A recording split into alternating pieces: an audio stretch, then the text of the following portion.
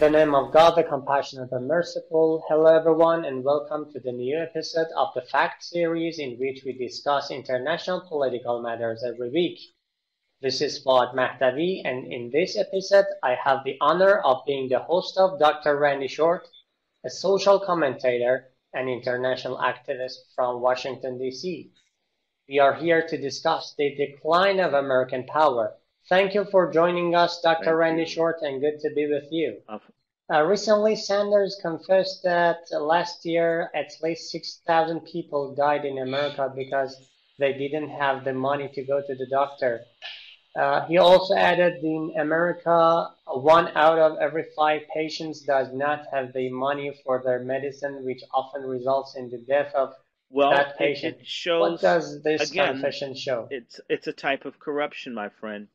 One of the reasons that we don't have health care for everyone in the United States, uh, if you contrast the United States with Europe, you'll find America falls behind practically all the European countries in terms of uh, of HDMI uh, st- standards and statistics.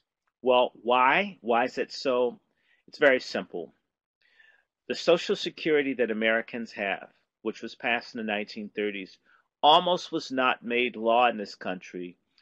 The compromise for Social Security to be made to take care of people in their old age is that black domestic workers who raise white people, and literally the people drank the, the milk from the breast of black women, were not to be taken care of in their old age. They were to die poor.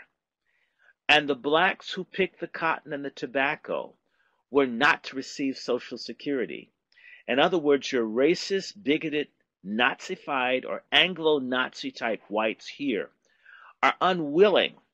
They have such hatred for the people like me in this country, they're willing to deny tens of millions of whites health care as a means to prevent blacks from getting a benefit.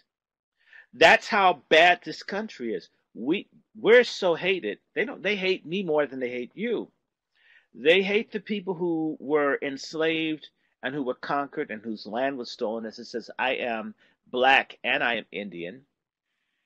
To make certain that our numbers don't grow, to make certain that we're always only maybe 10% of the population, because there is a understanding if we were strong and healthy, we might fight them back for our rights and this is an ongoing situation in the country of don't do anything for black people. That's why 22 million people can come to this country, get jobs, get social services, get education paid for, and that's been denied my people who built this country and whose land was stolen to make this country. Are you understanding me? And so Sanders, by the way, is opposed to reparations, so he's a, a hypocrite and he's a yeah. racist. And I say that if he supports reparations for Jews, which he's Jewish, and he doesn't think we should get it, 12 years of Hitler, we've had 400 years of everybody, and nothing should be done about this. So Sanders is dishonest. So the real issue, my friend, the people who have been exploited and oppressed here for hundreds of years that made this country should be repaired. Healthcare should be a given. But just like with healthcare, they don't want, what they've replaced that with is abortion. You'll find there's so much money. One in three of the babies aborted in the United States is black. That's genocide, my friend. Uh, they'll let almost anyone come to this country except for people that look like me. They make it harder. There's this concept of this invented concept of race of white and black, and black has to be kept down and punished and denied. And like homelessness in America, blacks are maybe 15% of the population. We are 50% of the homeless. We're about 50% of the people incarcerated. All of this points to how extremely racist and biased and which a society in particular, it's the elites. They're at war with the people that they have exploited and stolen from for hundreds of years. So health, if you look at healthcare, you look at every disparity, you'll keep finding who are disproportionately impacted by these disparities. They'll keep coming up black. Black. It'll keep, and it's not our fault. We don't run the society. So someone structured a society where these kinds of inequities are a given. Yet the same country will fund Israel, where health care for everyone is, is a right, including the black Israelis. Let's jump to uh, the upcoming presidential election of the US. As you mentioned something, I would like to uh, have your rich words about what does the fate of the US presidential election mean to Iran? And the main question here is what position each of uh, these candidates has on Iran and how far things can change in terms well, of let me just say this Iran to you. if any of them Bernie, comes to power. Bernie Sanders uh, will never be president of the United States. It's never going to happen. So if you're looking at Bernie Sanders, I'm not anti-Sanders. Uh, Sanders says a lot of stuff better than other people. America's not going to go for socialism, and they're not going to have a socialist Jewish president. It's not happening. That's not my feeling. I'm just speaking for the huge number of white people who feel like Jewish people have too much in this country. They're not going to let them have the presidency too and be a socialist. We'll have a revolution first. I mean, these, these people are buying guns right now with Corona. If we're never going to have a socialist be president, this this country will be a bloodbath first. It's never going to happen. Forget Sanders. Now let's get to Biden. Biden is a racist. Biden has dementia. Biden's son is a corrupt, crack smoking, philandering, liar, thief, as is Biden's brother. Biden's deceased son, Joe Biden Jr., is allegedly a bisexual in Delaware who allowed black men like me to be ritually murdered. It's called lynching in Delaware. The people in Delaware know.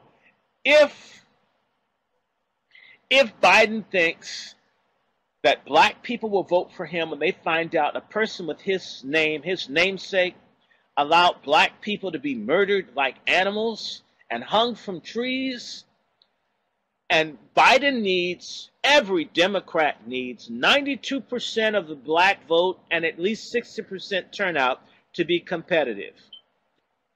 I can assure you, my friend, you could pull a gun on me, I would not vote for Biden. Biden has been a career racist against black people. He's been against education for black people. He created the mass incarceration genocide bills that have destroyed millions of black people. He'll never be president of the country. They'll stay home or they'll vote for Trump. You want to know who the president's going to be? You're looking at him. Four more years. Figure it out. My suggestion to the people in Iran, my suggestion to the supreme leader, God bless him, peace be on him, they really need to have a conversation.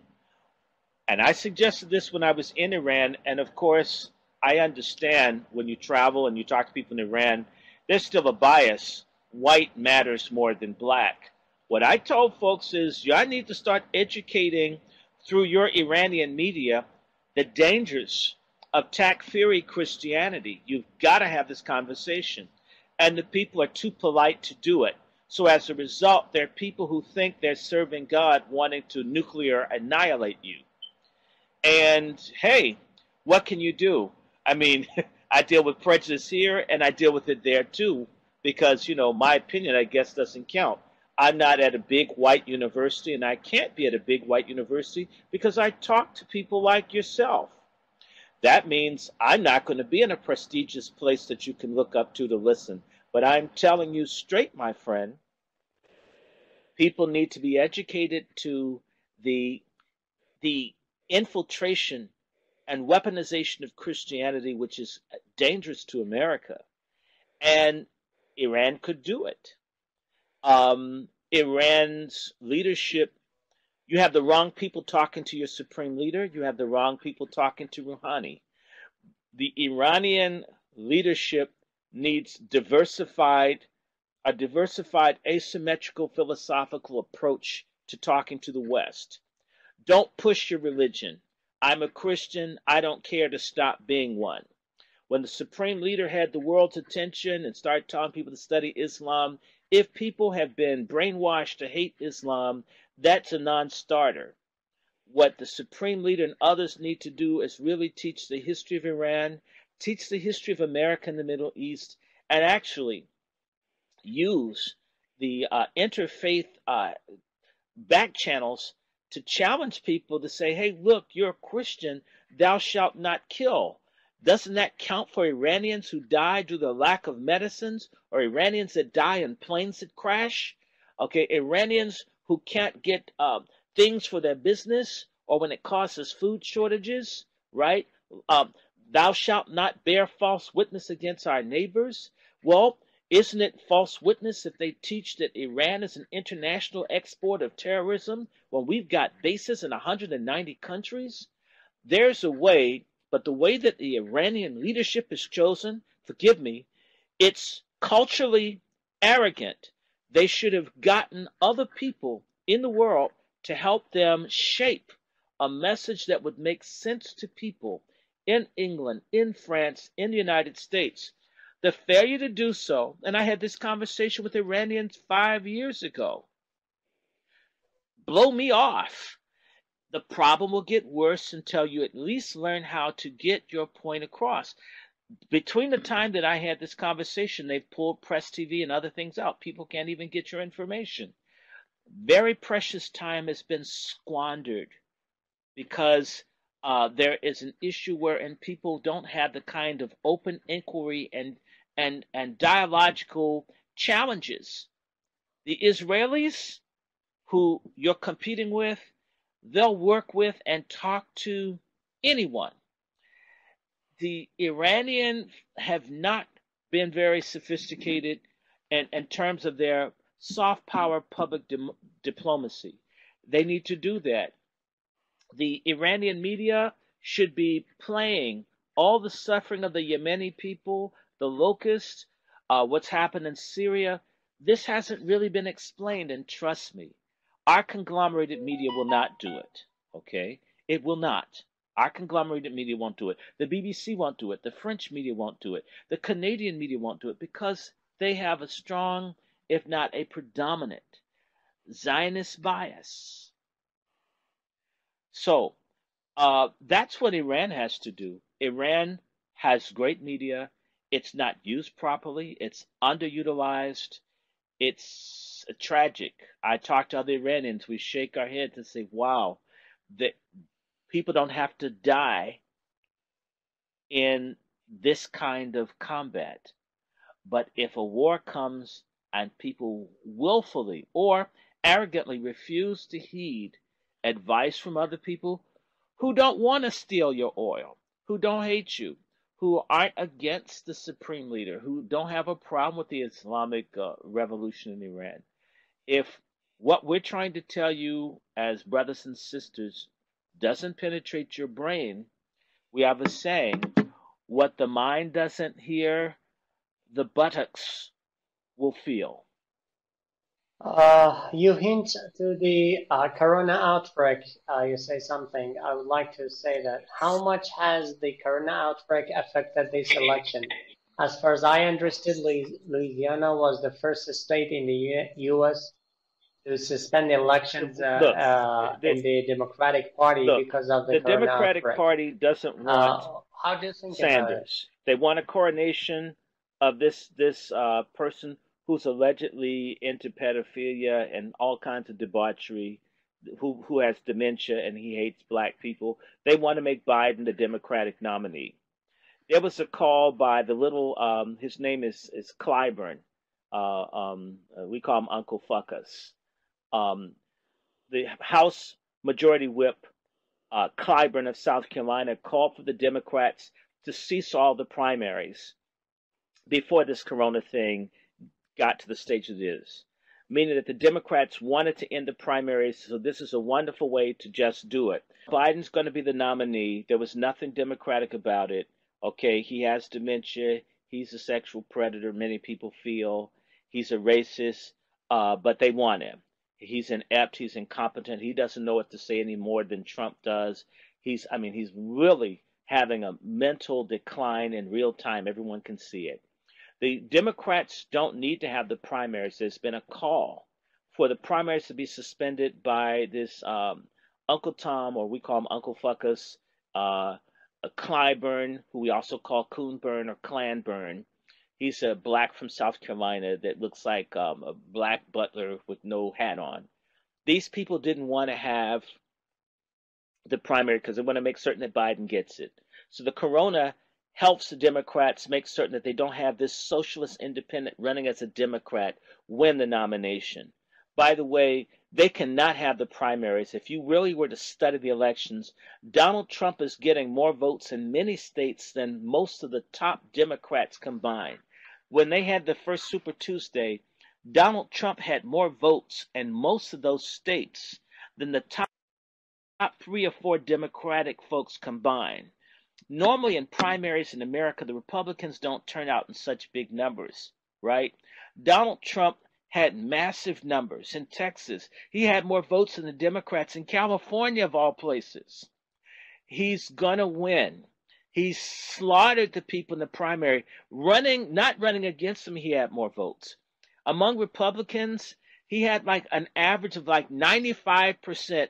Everybody that runs against him can't even get more than like 5%. I think it's 96% of the Republicans that even voted. They already voted for Trump. The Democrats are broken up. I mean, they're all clowns. I mean, this woman, I, I call her Klan Butcher from Minnesota. She she's a racist that throws black people in jail. Kamala Harris, or we call Kamala. I mean, she's a racist. Um, she's an Indian. She's not even a black. Uh, who threw black people in jail. That's what she did with her career. Joe Biden throws black folks in jail. Okay, so uh, all the people running, they're clowns. Booty check. I mean, he's a a a, a professed gay man, racist. All the people that they ran were clowns that nobody likes. No one likes these people. No one respects them. People didn't even go out and vote. The voter levels among Democrats was very low this year. People don't care about the people that they're running and they don't care about Joe Biden. There's a segment of the population that's been whipped up by this anti Trump media that just hate Trump so much. If Donald Trump gave them a million dollars, they would leave it on the street because that's that's how they've been whipped into such hate. But Trump is popular. The coronavirus, now that Trump and them are doing stuff, his support in America has jumped to 55%. It's the highest ever. He's he's made of Teflon. Stuff doesn't stick to him. I know that's hard for people to hear in Islamic country the way he talks about Islam and says stuff about people and the travel bans. Every time somebody does something to Trump, it bounces off like Superman. He's gonna win. He's gonna win bigger this time than last time and the, Corona is not going to impact him. He's, in fact, they may suspend elections and he'll still be president. This really, you're stuck with him, and I'm glad. And they're going to convict Hillary Clinton. You need to understand this. Now that she's going to have to, to show these emails they found, all the lies, what they did in Libya, the pedophilia and human trafficking in Haiti. This is all going to be known. This whole Russia thing's going to be exposed. I need to just bring to your attention I live a mile, less than a mile from where the man Seth Rich, the guy who leaked uh, the emails and on the Democratic Party's fraud, uh, he was killed less than a mile from this house I'm sitting in. I was on the same street as him the night he was killed. These things are going to come out. When this comes out, the Democratic Party will face a, a, a, such a disastrous loss because they have their heads up their buttocks. The American public does want, they would love better than Trump, but the Democrats have presented nothing. If you ask me for ice cream and I give you horse manure, are you going to eat? No. They've offered the American public that wanted change something worse than what they had. It's never going to happen. Get used to Trump. I told people on Press TV Trump would win. They didn't have me back on. That's their problem. Trump won. uh, what's his name? Uh, Nader Talebzadeh. I told him Trump's going to win. Trump's Trump, of course. People need to understand something, and I'll repeat this. Donald Trump, to many people, embodies the spirit and soul of this group called white people, which is the majority of the people in America, or at least at least 50, 55, 60 percent. And in the elections, I would say maybe maybe 40% of Americans vote, maybe 50% of Americans vote. Trump's got a solid handle on more than 50% of those that are going to vote.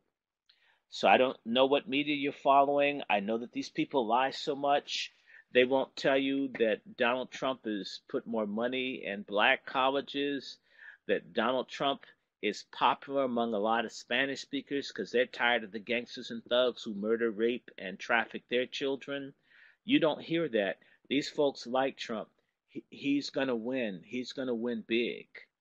It's going to be like Nixon in 1972. People are not going to be able to believe how badly uh, he beat Biden. Biden, I don't know if you saw on the night of Super Tuesday, his mind is so bad. He confused his wife with his sister on live television. Now, either he sleeps with his wife and his sister, which is, is, is awful, or he can't tell them apart. That's still a bad thing because if she spends the night, she might wake up and he's right next to her. That's not going to get anywhere. Trump and the other people, they're going to beat this man over the head with his his past that is more racist than Trump ever was. Uh, Biden supported the war on Yemen. Biden was helping to do the war in Syria. Biden helped do the this this corruption and this war in Ukraine. Biden was with this war in Libya. Uh, yes, he was. Um, when you look at this and you look at the fact that Biden supported the Iraq war, the Afghanistan war, and other wars, Trump will kill him. He he cannot. I don't know if they're giving him extra doses of Prevagen. Mm-hmm. It's like an anti-Alzheimer uh, drug. They're going to have to give him that and steroids every day. Trump will bury him. He's already dead. He just doesn't know it yet. Trump will be president for the next four years. Okay, thanks for joining us again, dear Dr. Randy Short. Dear audience, it was another talk with Dr. Randy Short, a social commentator from Washington, D.C. Thanks for watching and goodbye.